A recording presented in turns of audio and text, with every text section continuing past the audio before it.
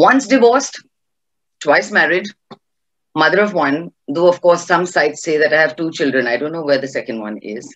Uh, a wife, a daughter, a sister, a friend, a TV presenter, a compere, an actor in all mediums, a radio jockey, a model, a dubbing artist. But most importantly, a woman who has made all of the above choices when life handed me that menu. Why not? I said.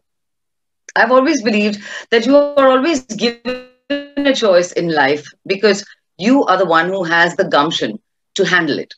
So I've always said, seize the day and make the most of it anytime anything comes to you. Now, along the way, you should always do things for yourself that make you proud to say that I did this all on my own steam. That's always been one of my mantras throughout my life.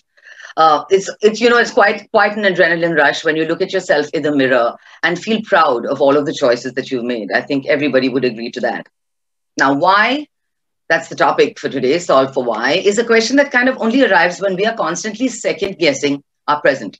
Okay. Every time we try to answer that question why, the variable changes and we always start questioning our present. So isn't it better to find the solution for that why before this whole conundrum comes into our, to, our, to our life? Therein lies the path to your happiness, feeling complete in yourself, independent of anyone else or anything else. Now, in my life, I've done a myriad of things, okay, be it personally, be it professionally. At 17, I decided to start modeling alongside my engineering studies.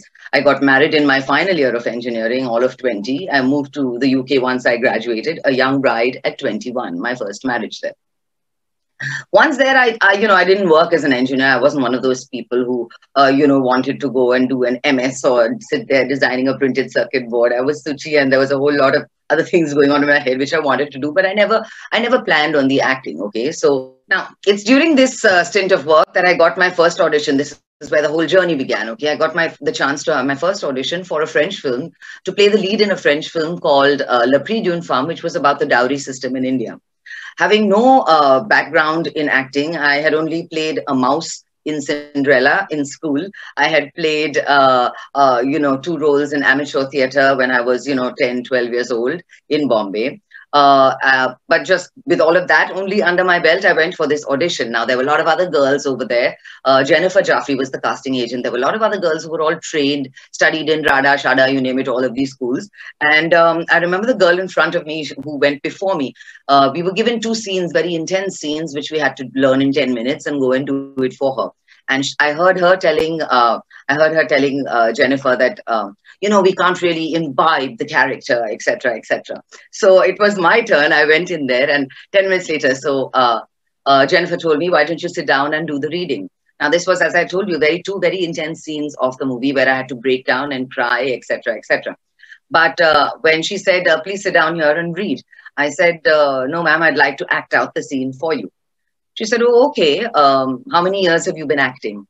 I said, uh, This is my first audition. So naturally, she was a bit surprised and she said, Okay, fine. It's all right. Act out. Use the papers. It's fine. I said, No, I don't want to use the papers. I don't want to use the script. I'll uh, just remember what I remember and I will make it up along the way if I forget. And um, uh, you just play the other part at the end of that audition, at the end of the second scene, I had broke, actually broken down. I was crying and I was at her feet at the end of that scene. I will never forget this. You know, I really, I will never forget this because this changed my life. She picked me up and she put me on the sofa next to her and she looked at me straight and she said, Suchitra, please tell me the truth. How many years have you been acting? And that is what changed my life. And that is what got me to realize that this is where I want to be. This is what I want to do, and and you know this is where my journey is supposed to take me. So now do what it takes to turn every stone. You know, a friend once told me this. This was the you know uh, this was the start. I would say this movie was the start to me promising myself to turn every opportunity into a journey towards the next adventure in the path that I had chosen as my career. Doing my part, honing my skill, you know, being the best at what uh, I had chosen to be. That was what was in my mind after that. Now, post which, another life changing uh, decision, you know, uh, had to be taken as a drifting apart of souls happened. This I'm talking about personally, my, my ex husband and myself. uh, well, I had to move back to Mumbai while he was posted in Tokyo. And that's what kind of caused the drifting apart of two people, an amicable uh, divorce. But this was, of course, uh, I have to admit, a hiccup in my personal life. Uh, because it was the big decision that hangs over your head of getting the, the divorce and it had to be addressed. Now, many of my loved ones, you know, and I say this for all, uh, for all the girls and uh, uh, all the people watching, uh, you will be influenced by a lot of people, uh, people who you think, you know, have your best interest in art and sometimes do. Many of my loved ones insisted that I would be very much happier in Tokyo, being Mrs. So-and-so. Yeah. But I, I th then itself, I knew that it didn't take anybody else for me to have my happiness. You know, I knew that I could create it for myself. Um, not being restricted by geographical boundaries or uh, or personal lows. That's one strength I've always had. Uh, never say never. Uh, you know, it and it didn't scare me then. It doesn't scare me now. So coming back to the story, at 27, here I was with bags in hand at my parents' house. Uh, you know, I was the first ever divorce in my mother's side of the family in history. Uh, you know, but the only thing that I told them as they stood there with their arms wide open was that, you know, I promised to make something of myself uh, without compromising on the values that they had instilled in me and without stepping on anybody's toes to get there. You know i've always i've always said don't sit around waiting for things to happen. Make those opportunities happen for you. You know it's always been my constant mantra and today at 50 it still is. So this is what urged me in 1997 to go out there and actually put it into practice by getting a job for myself as a VJ uh, of the very famous Channel V. This is how that happened. Now, I met the general manager of the channel at a party, and uh, um, he uh, was, you know, we were chatting, and he said, "Oh, you know, I'm the I'm the GM of a, of this channel called Channel V, and it's a very it's a very interesting channel." And I said, "Yes, yes, actually, it is." I very calmly looked at him and I said, "It's a wonderful channel, uh, Channel V, but frankly, it's your loss that I'm not on it." And uh, he was uh, he was obviously very very stumped. Uh, you know, he said, "Really, you want to prove it?" then uh, in a week's time, he gave me, uh, you know, the opportunity to get an audition. That's literally saying that one sentence to him. Uh, you know, going out there and getting it for myself is what I did. And he said, come in next week for an audition, which also led to two weeks later, me getting a call from Hong Kong saying that they were creating a show for me called Simply South and that I was officially now a VJ at Channel V. So that story happened over there. I thrived at that channel. It was the place to be. It was the job to have, you know, when you're still uh, young, per se, you know, 27, 28, uh, and you've had things like a divorce behind you. It's great to be able to stand on your feet again and prove something, uh, you know, to everybody and to yourself more than anything else. Now, despite that, the actress in me at that point, uh, while I was still a VJ at Channel V and comparing jobs started happening, etc., the actress in me started getting opportunities. The first of which was the opportunity to do Dance Like a Man.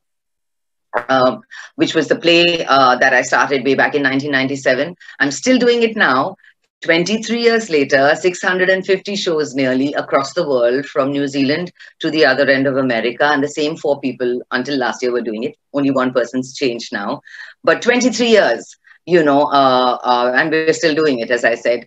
This play Dance Like a Man, uh, and I'm still in that. So theater started happening uh, with this, and after that, I did a lot, uh, a lot more shows with uh, Lillete Dubey and Primetime Theatre Company. Um, life is not always a bed of roses, you know rejection at auditions, uh, people saying no, which many take as failure. Yeah, I use them as stepping stones. Many take as, uh, you know, uh, they take it personally when you're rejected for a job or whatever. I still use that as a stepping stone. Uh, to be able to take no as an answer is definitely a very, very big strength. To be able to adapt, that's an even bigger strength. Adaptability is the biggest strength that anybody can have. And that has been a major part of, our, of my journey. I'm giving my 100% to everything that I chose to do, you know, to, to, to make something of anything that people had put their trust in me, knowing that I was the one who could make a success, uh, success of it. Uh, so no one else could play my part in that. And for that reason, I had to give my 100% come, come what may.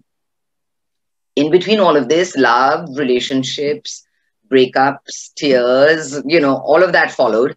Uh, but uh, they all played an important part, I would say, in making Suchi who she is today. So I thank every single one of those people who touched my life in some way, who taught me lessons, who broke my heart into a million pieces. Um, and in spite of that, I can truthfully say that I, I truly and still believe, you know, in love. And at that time, I still knew that it would find me again and again and again and again. And I wasn't going to get scared by it. But, you know, um, uh, it I wasn't going to base my level of happiness on someone else being in my life or not at that point. You are enough to make that happen for yourself. You know, uh, you can find it all uh, in in things that you do, and you find it all right there in you. Another journey that started happening, of course, is music, which has always been part of my life, you know, since I was a kid. And when I, I connect that with rejections, because the very first project I did was a musical album, which uh, music album, which uh, was completely rejected by the record company, you know. And here was I with stars in my eyes, thinking I'm going to be a pop star, and they rejected it, saying that no, this is not the kind of music that people are listening to right now. So sorry. After signing the contract, this is what happened, you know. So um, as I said, don't allow no's and don't allow rejection to get to you. So what did it do for me? It made me actually start working again uh, you know, with another uh, um, another wind under my wings, uh, with gusto for my first album, which was called Such Is Life or Suchi's Life, uh, which was an indie pop album, which was released in 2011. And uh, presently, my second album, which is uh, you know an ode to the history of rock and roll, that is ready and will be released soon. That's an English rock album, and I hope that all of you you know get to hear it sometime. Now, uh, another job that I've done and I started doing was uh, that of a dubbing artist. Um, you know, I've been responsible for making uh, people like Angelina Jolie, uh, Emma Thompson, uh, sorry, uh, Maggie Gyllenhaal, Meryl Streep, Cate Blanchett, Maggie Q, many other women speak convincingly on screen in Hindi believe it or not. So here was another part to play on this stage called life how was I going to be able to juggle, uh, you know, everything? How was I going to be able to balance this multifaceted career? As I said, I was still doing all of these things all together, time management, but it was only me at that point that I had to think about now. Responsibility, taking on, you know, a, a family, a husband, a child. Was I going to be able to do all of this? You have all of those doubts in your head. It's only normal that you do. But then again, I thought, I mean, I'm, age is catching up with me. I need to have a baby at the right time. So I did. And it only takes one decision, frankly speaking, you know, for all of you who are watching, it takes one decision, that of deciding to make a success of anything that you take on, you know, knowing that you would do the best that you can. And uh, that's all, that's all that's needed, you know. So my husband for me has been that. He's been the wind beneath my wings uh, and he has put that into practice by uh, you know letting me fly letting me be the person i am and uh, letting me uh, live my life to the fullest i would say you know. So you've got to as a woman uh, in this day and age all it takes is i think time management priority setting selflessness. These are the three things that i would uh, say any working woman needs to know how to balance. It's uh, so it's always nice to appreciate the people who are in your life. You know, it takes it takes nothing.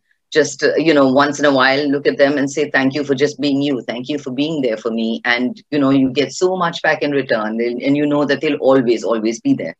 Uh, you know, I now experience in this in this day and age the new wave, the new wave of uh, of showbiz. You know, it's fascinating when you have 27 years of experience uh, uh, uh behind behind you to see how the industry has actually evolved, and uh, you know how lucky one has been to have been part of that and seen the journey, and now be part of this. You know, these life lessons that you know that or you know at least what i call life lessons uh, what i've shared with you today are also you know what i what i pray my child anika kind of imbibes from me that will be the biggest uh, you know biggest present for me if she if she gets all of this and she kind of puts it into practice into her life. But it is her journey you know it's her unique journey which she has to take.